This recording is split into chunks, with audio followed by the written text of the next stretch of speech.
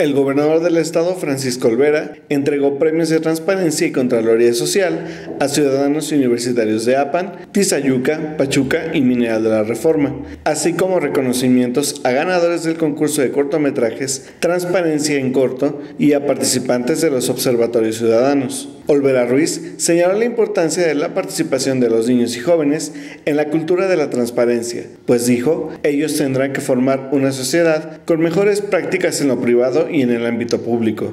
Refirió que desde el inicio de su administración se crearon comités para que en cada obra los ciudadanos verificaran que en su ejecución se aplicaran los recursos presupuestados y que la calidad de la ejecución fuese la adecuada. En su mensaje, la titular de la Secretaría de Contraloría y Transparencia Gubernamental Estatal, Flor de María López González, indicó que en Hidalgo se han impulsado acciones encaminadas a la rendición de cuentas. Con información de Edgar Chávez e imágenes de Omar Vargas, Síntesis Hidalgo.